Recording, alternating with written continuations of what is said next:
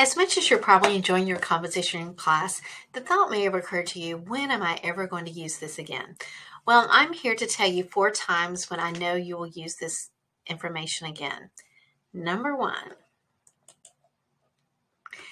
writing is a form of creativity. So this is a skill that you can use the rest of your life, and you've probably developed it a little before you took your composition class at the college level but you're just continuing to hone this skill. So writing helps you to generate ideas, um, to brainstorm, to problem solve, and to de-stress.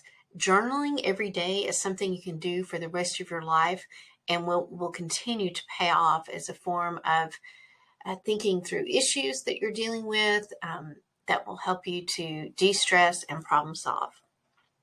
Number two, Having strong language skills, having strong communication skills is really crucial to understanding the world around you.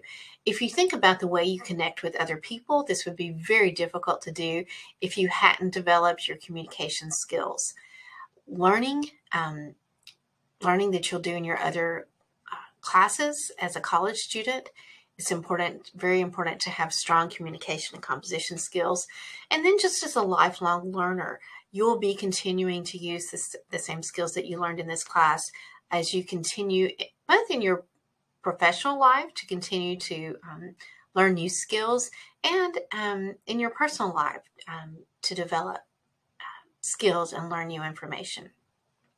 And finally, uh, these skills are just important to self-awareness. Self-awareness reflects our exploration of your own thoughts and beliefs and values and until you really understand that about yourself, then you're not going to be a strong communicator. You may not be able to develop um, the skills that you'll need uh, for success in life until you have developed self awareness. And composition, language, communication, all of these are crucial to developing self awareness.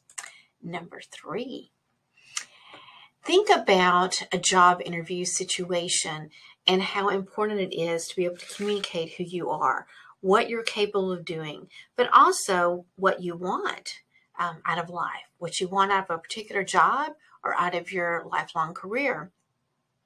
It's so important in your professional and personal life to be able to communicate uh, who you are, what you can do, and what you want. And the skills that you're learning in your composition communication courses really help you develop those ideas. Having access to the right words is truly life changing. And number four, people who are good communicators are more successful, both again in their personal lives and their professional lives. Being able to communicate is incre- incredibly important to your success. So much so that in a recent article in the Journal of Clinical and Diagnostic Research, it said that doctors who have good communication skills have patients who have better outcomes. So those are just four times that I know that you will use the skills that you're learning in this class. And I'm sure that you can think of even more uses.